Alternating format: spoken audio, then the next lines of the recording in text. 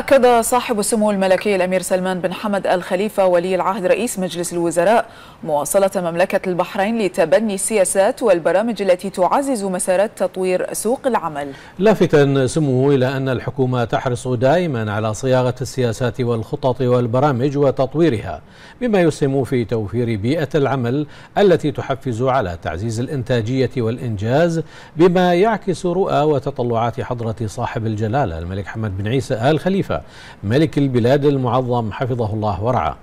جاء ذلك لدى لقاء سموه حفظه الله بقصر رفاع اليوم بحضور معالي الشيخ سلمان بن خليفة آل خليفة وزير المالية والاقتصاد الوطني السيد أنطونيو فيتورينو مدير عام المنظمة الدولية للهجرة حيث نوه سموه بما وصل إليه التعاون والتنسيق بين مملكة البحرين والمنظمة الدولية للهجرة من مستويات متقدمة على كافة الأصعدة. وأشاد سموه بالدور الذي يطلع به العمال بمختلف ميادين العمل في مسيرة النهضة والتطوير والتنمية. وأكد سموه أن كل إنجاز تحقق في أي مجال أصبح اليوم مصدر فخر واعتزاز من قبل كافة أعضاء فريق البحرين من مواطنين ومقيمين. كما أكد سموه أن مواصلة مملكة البحرين لخمس سنوات متتالية الحفاظ على تصنيفها ضمن الفئة الأولى في تقرير وزارة الخارجية الأمريكية.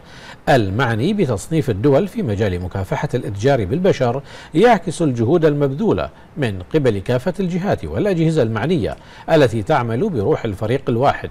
ونجحت في تعزيز مكانة مملكة البحرين عالميا في مجال مكافحة الإتجار بالبشر. ويحفز الجميع للاستمرار ومضاعفة العمل من أجل تحقيق التطلعات المنشودة في هذا الشأن. كما تم خلال اللقاء استعراض عدد من الموضوعات ذات الاهتمام المشترك والتعاون القائم بين مملكة البحرين والمنظمة الدولية للهجرة بما يدعم تبادل الخبرات والممارسات في المجالات ذات الصلة بعمل المنظمة الدولية.